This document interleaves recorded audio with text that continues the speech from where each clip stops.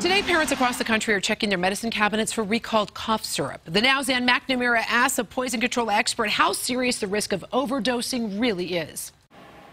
When we're talking teaspoons, it's easy to pour too much cough syrup. So how much should parents really worry about this recall? Quite honestly, uh, this recall is really happening out of an abundance of caution on behalf of the manufacturer. Um, in most cases, the very small differences in dosing based on that size of the cap, like you mentioned, is unlikely to cause serious significant symptoms for most patients. The cap in question has the wrong dosage labeling, but keep in mind, it's small enough to fit on a 4-ounce bottle of grape cough syrup, expiration date August of next year, sold at HEB and CVS. Or this lot of cherry syrup that expires in March 2017, sold at popular drugstores like CVS, Rite Aid, and Dollar General. Just take that dosing cap and go ahead and throw it away. The medicine itself is. Medicine itself is absolutely safe. So if the medicine is safe and no overdoses have been reported, why did the company Perrigo voluntarily recall these products? Dextromethorphan, which is found in one of the two types of preparations that are being recalled, um, is associated with some significant effects in very large overdoses.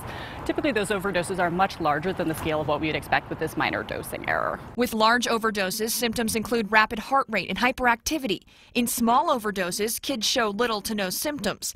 And it's fairly common. The Rocky Mountain Poison and Drug Center gets one call a day about cough syrup issues, most with happy endings. Most kids do just fine and don't have significant symptoms. For the now, I'm Anne McNamara.